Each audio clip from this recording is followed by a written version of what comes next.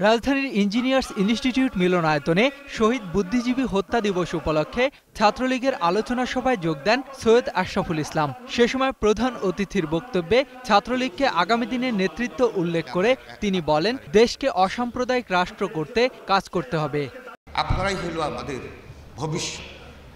স্বাধীনতার চেতনা যেন আমরা ভুলে না যাই। তাহলে কিন্তু আমাদের মধ্যেও কিন্তু ক্ষয় হবে। আমাদের বিশ্বাসের প্রতি। আমাদেরই তখন শ্রদ্ধা থাকবে। এদিকে জাতীয় প্রেস ক্লাবে শহীদ বুদ্ধিজীবী হত্যা দিবস উপলক্ষে সাম্যবাদী দল আয়োজিত আলোচনায় মাহবুবুল আলম হানিফ কথা বলেন পৌরসভা নির্বাচনে বিএনপির দেয়া বক্তব্য প্রসঙ্গে।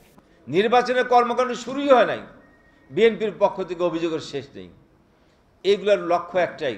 এগুলোর উদ্দেশ্য একটাই। বিএনপি জানে যে তারা নির্বাচনে জয়লাভ করতে পারবে না। এছাড়া বঙ্গবন্ধু শেখ মুজিব মেডিকেল বিশ্ববিদ্যালয়ে বিজয় দিবস ও বুদ্ধিজীবী হত্যা দিবস উপলক্ষে অপর আলোচনায় মোহাম্মদ নাসিম দুই সাল পর্যন্ত ইতিবাচক রাজনীতি করতে বেগম জিয়ার প্রতি আহ্বান জানান। বেগম জিয়া যে তিনি বলেছেন আমি শেষ মুহূর্ত পর্যন্ত নির্বাচনে থাকবই। এই জন্য তাকে ধন্যবাদ জানাই তার এই শুভ উদ্যোগ শুভ চিন্তার জন্য ধন্যবাদ জানাই তাকে। তাকে বলতে চাই দু সাল পর্যন্ত আপনি এই চিন্তা রাখবেন। মধ্যমায়ের দেশ গড়তে মুক্তিযুদ্ধের সপক্ষের শক্তিকে ঐক্যবদ্ধ হওয়ার আহ্বানও ছিল আওয়ামী লীগ নেতাদের বক্তব্যে। শেখ হাসিনাকে মাইনুল ইসলাম একুশে টেলিভিশন ঢাকা। আমি অত্যন্ত আনন্দিত